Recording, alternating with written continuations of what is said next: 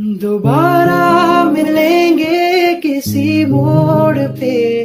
जो बाकी है वो बात होगी कभी।